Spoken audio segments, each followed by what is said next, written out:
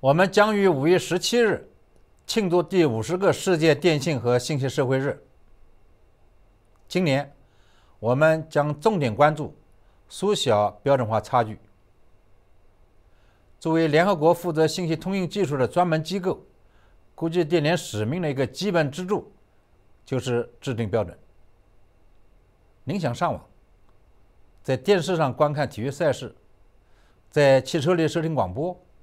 或者在智能手机上看视频，国际电联制定的标准使之成为可能。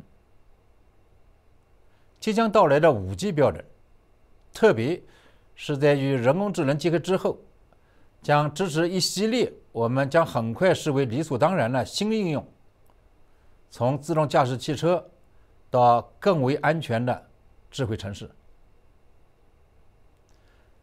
国际电联的标准。能够确保互操作性，有利于开拓全球市场，并刺激创新和增长。发达国家和发展中国家均可因此受益，因而这将有助于加速利用信息通信技术，实现所有可持续发展目标。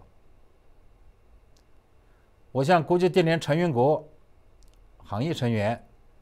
大小公司和中小企业、学术界以及联合国子民机构、我们的合作伙伴及所有利益相关方发出呼吁，请大家支持国际电联开展的缩小标准化差距项目，为实现所有人的繁荣、福祉而添砖加瓦。